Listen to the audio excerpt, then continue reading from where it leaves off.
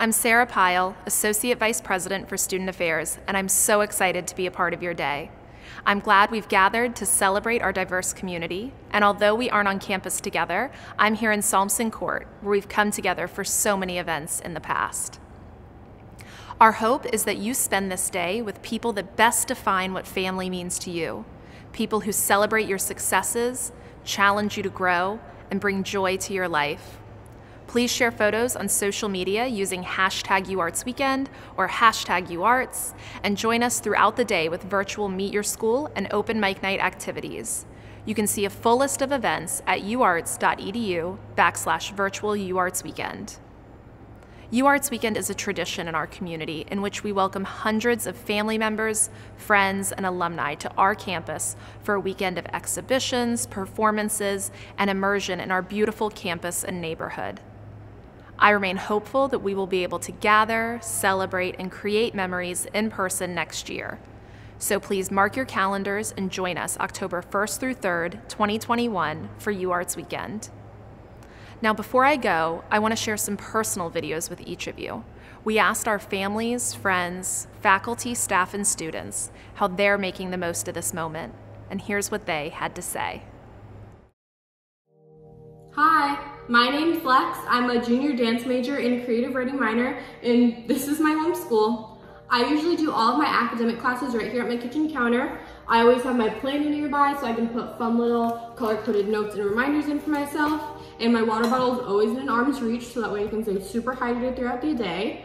I do all of my movement-based classes right here in my living room. I'm making the most of my moment by making sure I'm staying on top of all of my schoolwork and really finding times in the week for self-care. And I'm also making sure that I'm putting all of my effort into dance and movement so that way I can be my best self. The Office of Campus Life is making the most of this moment by practicing the piano, riding my bike through the city, spending more time in my kitchen, by diffusing essential oils and reading. I'm making the most of this moment by being able to make the art that I want to while also honing my craft as an actor. I've been looking at this mountain every day, multiple times throughout the day since mid March. Every time I look at it, it's a different mountain, always changing and always awe inspiring. Hi, I'm Gianna. I use she, her pronouns. I am a sophomore game art major and I am making the most of this moment by keeping my workspace colorful to keep me creative. So here's a little room tour.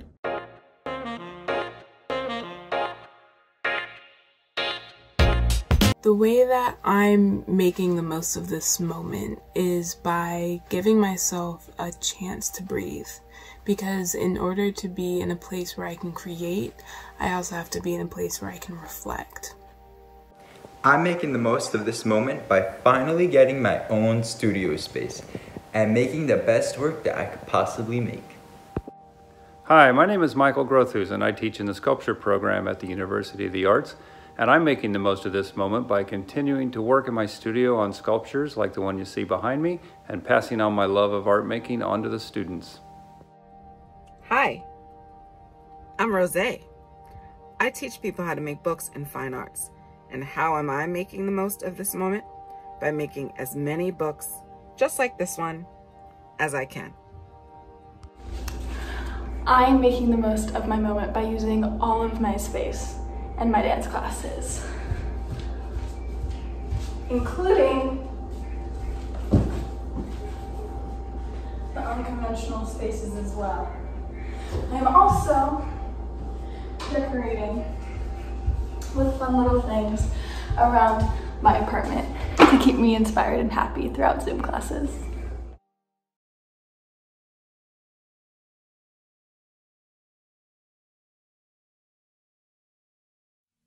Good afternoon.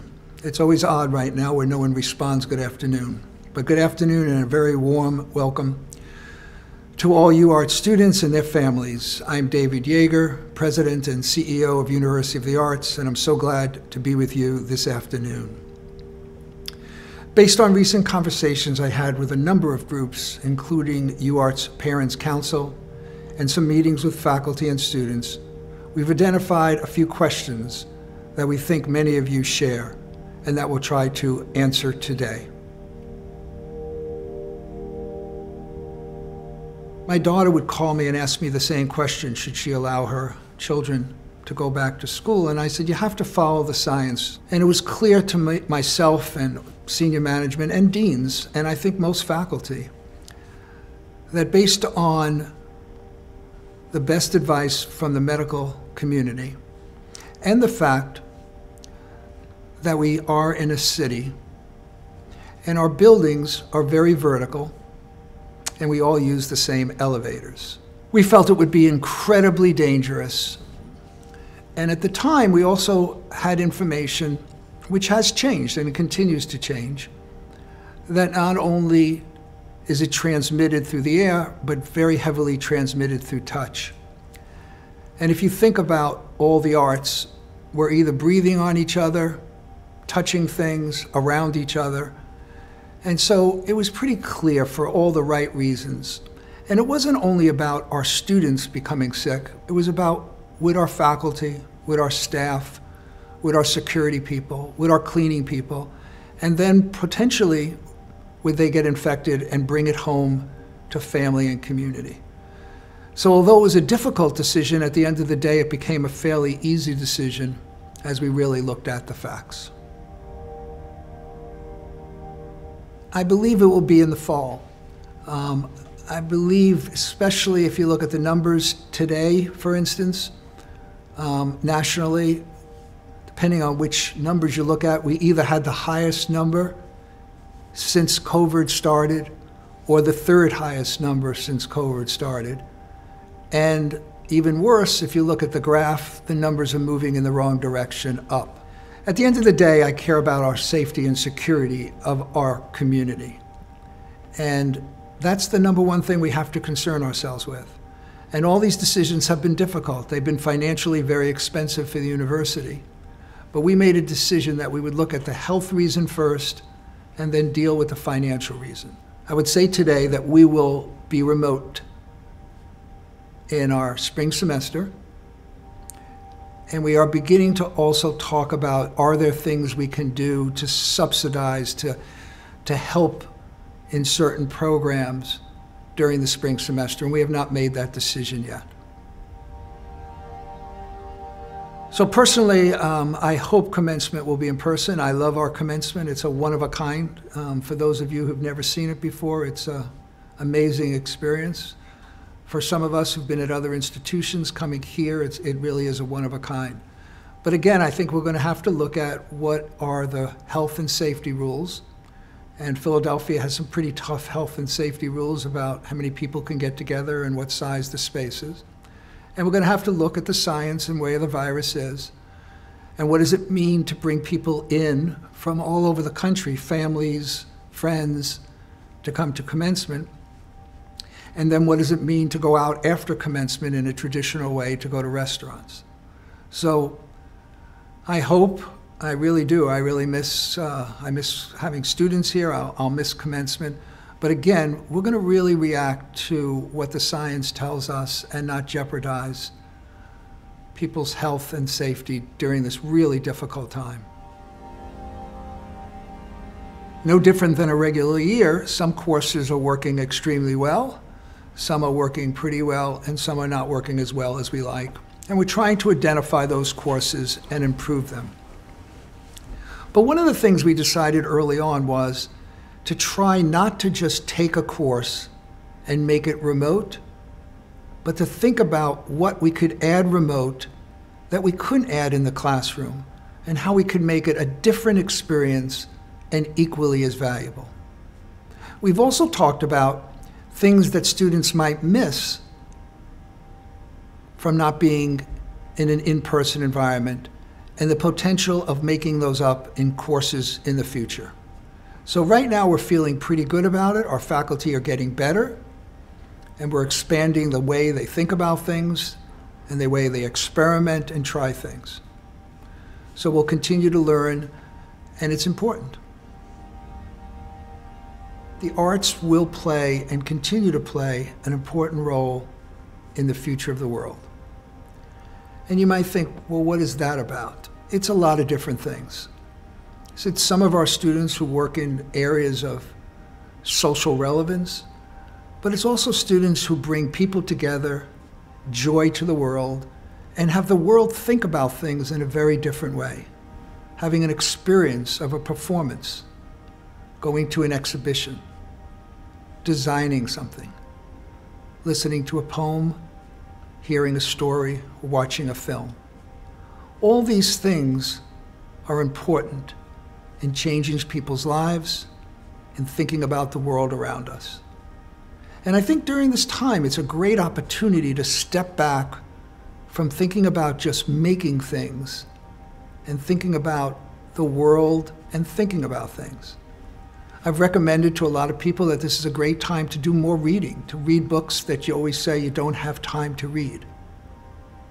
We're thinking about starting a book club so students could not only read, but then have conversations with each other about the books they read.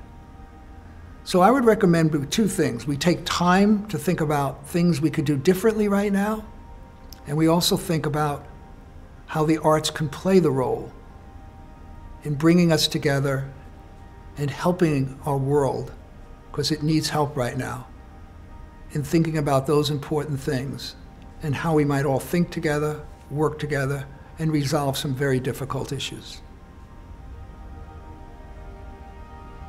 Jefferson University is, was really based on a health system. In the last year, they did acquire Philly U, but our interest with them was mostly on the health side. And we thought, wouldn't it be wonderful if our students wanted to take some more science courses, if they had an easy way of doing that? And we have other relationships with other universities so they can take other courses. But we also thought about the future of some graduate programs. So we decided to make it easy for students by cross-listing all of our courses with Jefferson and Jefferson courses with us, and to see and evaluate how well that works. Jefferson is interested in art courses, especially creative courses and fine arts courses. So we're going to take a look after a year or so and see how many of their students are taking our courses, what's working well, and continue to evaluate this it's a great opportunity to just expand the potential portfolio and experiences our students can have at the University of the Arts. To put it in context, I want to talk a little bit about centers. We've started a number of centers in the last couple of years, which I think are going to be really important to the future of the University of the Arts, and hopefully other centers will grow. So the acquisition of the Art Alliance, which is under renovation now, which will be an incredible exhibition space, meeting space, performance space, and really a place for us to feel like we have a different kind of building where people could meet, we could have seminars, we could have talks. We started the Immersive Lab, which was really focused on augmented reality and virtual reality, really thinking about the new technologies and how they're going to affect all of our students. Initially, everybody talked about augmented reality and virtual reality relative to design students, animation students, and art students. But in fact, theater and dance are, are using that as much as anyone else. Broadway shows are using virtual reality. And immersive reality or augmented reality is going to be used in everything that we think about in the next couple of years, including classrooms and education. So we really wanted to be on the forefront of that. And we're also partnering with Jefferson on some projects using augmented reality and virtual reality. The other um, center is Lightbox, which we were able to acquire. It's an incredible opportunity for our students to be in touch with the most interesting films, cinema, films that are more difficult to see, and the opportunity to discuss those films and hopefully talk to the directors, producers, or writers, and integrate film as a really important part of our program. So in the future, we hope that those centers engage across all the disciplines. We're already talking about another center potentially for next year. And the centers will be a place to expand, explore, and experiment, which will then allow things to move its way into the normal academic programs and the centers will continue to experiment. So thank you, and, and I hope this has been helpful for all of us These are hopefully once in a lifetime time and certainly unusual times. And I know students are working extremely hard in difficult situations sometimes. Parents are also working extremely hard in difficult situations. Families, size of families, size of space, dynamics of family. But as artists, I always believe we have the best ability to improvise and adapt and to take situations that from the outside are not the best or from the outside look terrible or from the outside don't look so good and create something wonderful out of that moment. So, to our student artists, really think about how you're going to change the world and how this opportunity is going to help change you as an artist. Thank you.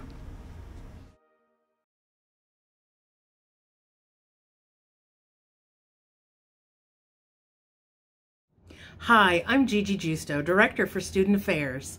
I'm one of the many staff members that help to bring you UArts Weekend each and every year, and although virtual, this one's no exception. We sincerely hope you've enjoyed this welcome and we're looking forward to you joining us at 5 p.m. for our Meet Your School session. This did require an RSVP, so if you haven't done so, please feel free to email us at studentaffairs at uarts.edu to receive your invitation login. Also tonight at 7.30, our Office of Campus Life is hosting an open mic night.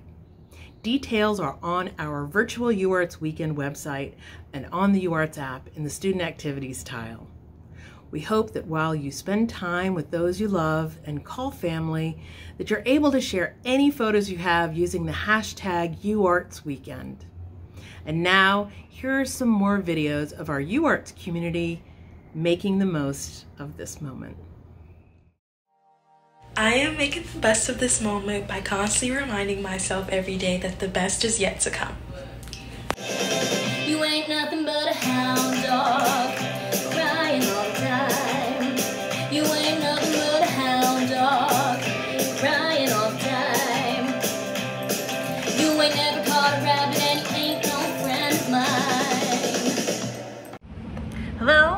I'm Michelle Kishta, Assistant Director of the Advising Center, and I am making the most of this moment by focusing more deeply on my studio practice. Hi students, I've really been enjoying designing my classes and teaching to make the most of this moment. I've also been gardening and here is my very first rose. I propagated it from my little South Philadelphia park. I'm making the most of this moment by spending a lot of time with my friends and we even set up a library in our living room. Hi, I'm Erin Elman, the Dean of Graduate Professional Studies and the Interim Dean of the School of Art. And in this moment, I'm walking every day through my beautiful neighborhood in Philadelphia. Miss you all. Hi, my name is Sophia Marchese and I'm a FIGS and a sophomore musical theater major and what I'm doing to get through this moment is I am Netflix partying with my friends. Tonight we are watching Twitches. Hope you guys are doing well. Hi everyone, my name is Jenna Cohen and I am a senior photo and film major. I'm making the most of this moment by creating a personal essay film about my experiences through this difficult time in our lives. And I'm making sure that I'm checking in on myself both mentally and physically through my long Zoom days because we all know the Zoom fatigue is real. Hi, I'm Marcelino Stuhmer. I'm a painting professor in the Fine Arts program. I am making the most of this moment by making as many drawings as I can and doing a lot of reading. I'm making the most of my moment by taking lots of walks with my family. Taking a walk after having ice cream? Hi, my name is Diane Pep and I just finished an exciting class with my students. I'm now going for a walk before my next class begins.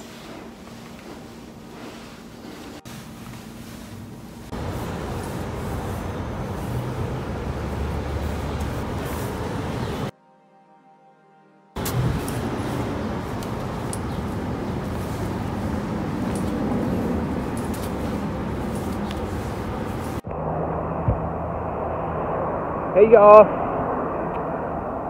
this is Stephen Kleinman, Director of Creative Writing, and I am spending these last beautiful days of the fall jogging in Cobbs Creek Park.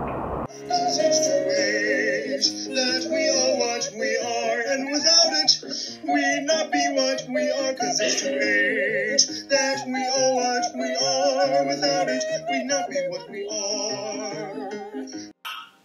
Hello, my name is Lara Frazier. I'm an assistant professor and coordinator of sculpture.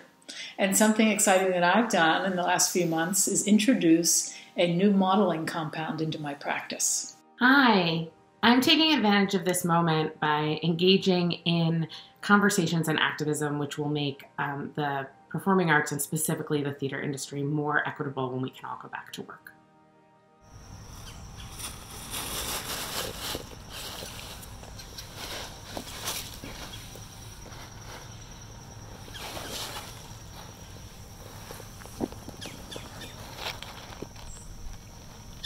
My name is Miriam White and I work in the Advising Center. Uh, right here, case in point, and right there are the reasons that this pandemic has many silver linings. Instead of a commute, I get to spend more time with my little kids. Um, thank you. Say hi. Hi, my name's Annabelle.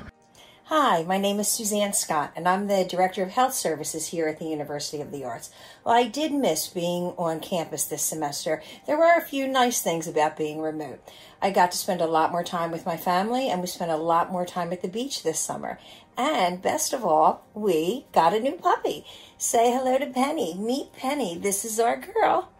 Um, I hope you all had a good semester, and I hope we get to see you soon. Say goodbye, Penny. Bye bye. I'm making the most of this moment by spending more time outside with my family, my husband Kevin, and our dog Lyle.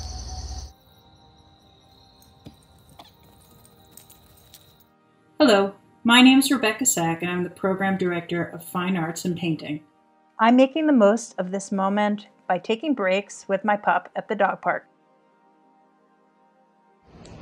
I'm making the most of this moment by questioning everything. Everything I did before, everything I took for granted before, everything I thought was the norm before. I'm questioning all of it and actively seeking answers.